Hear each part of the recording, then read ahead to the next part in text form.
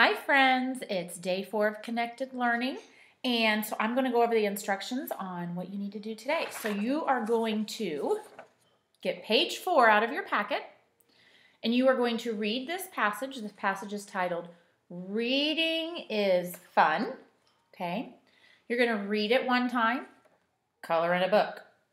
Read it again, color in a book. Read it one more time, so three times total, color in a book. Then you're going to answer the comprehension questions at the bottom. It says, What did the kids do first? Underline the text in the story. So don't underline it here. You're going to go back into the story and you are going to find the answer to the question and you are going to underline it in the story. Okay?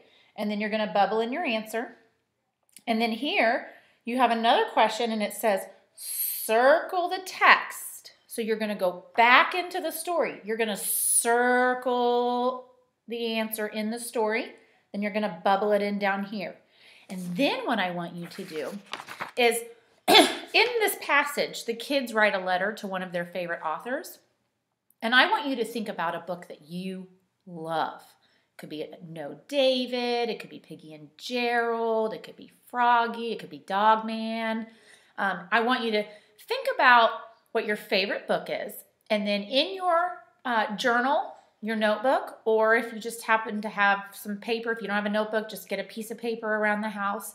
I want you to write a letter to your favorite book author and maybe ask them some questions tell them some things that you like the most about each of um, about their book that you like.